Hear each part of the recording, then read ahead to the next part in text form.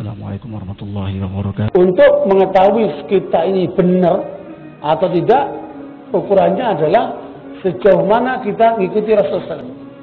Yang kedua, wajib tabi ghaira sabilil. Ya, orang yang sesat itu tandanya tidak mengikuti para sahabat.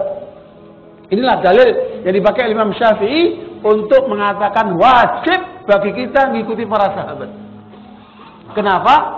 Karena kaum mukminin yang disebutkan dalam ayat ini pada saat ayat itu turun siapa? Para sahabat tegaknya. Ya, maknanya kalau kita tidak mengikuti Rasulullah, tidak mengikuti para sahabat, Allah katakan nuwallihi ma tawalla wa nuslihi jahannam wa sa'at masir. Kami akan palingkan dia. Ke mana itu? Ke neraka jahannam.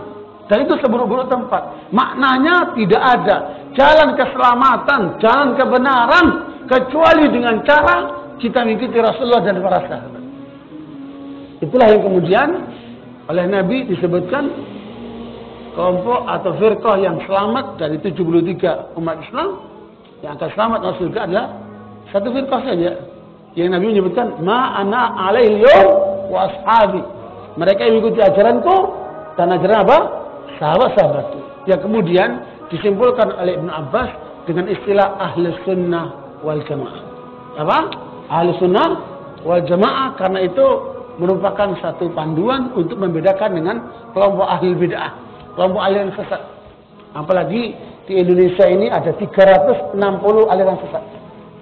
Ya kalau kita tidak hati-hati tidak paham nanti bisa tertarik dengan aliran sesat seperti itu.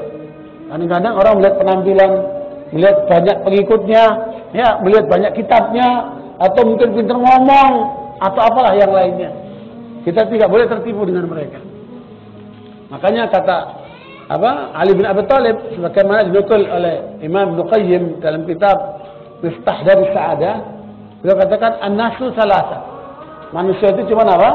Ada tiga saja. Ya, manusia itu ada tiga saja. Alimun rabbani. Seorang ulama yang ilmunya terkait dengan apa? Dengan Tuhan dengan Allah Subhanahu ya bersumber dari Allah Subhanahu alimun rabbani yang kedua adalah talibun ala sabilin najah seorang penuntut ilmu yang sedang mencari kebenaran, dia bergantung dengan ulama itu. Nah, belajar sama ulama itu. Dan yang ketiga adalah hamajun ru'aun tabi'un likulli naib. Orang yang awam tergantung siapa yang ngajak. Yang suaranya keras, yang penampilannya menarik, dia akan ikut. Meskipun itu salah. Ya, bahkan dia jalan bukan cuma salah, sesat menyesatkan. Ya, makanya jangan jadi orang awam Minimal kita jadi penuntut ilmu. Kalau bisa naik lagi jadi alimun rabbani. Karena barakallahu kita penting untuk memposisikan diri kita di mana posisi kita. Ya.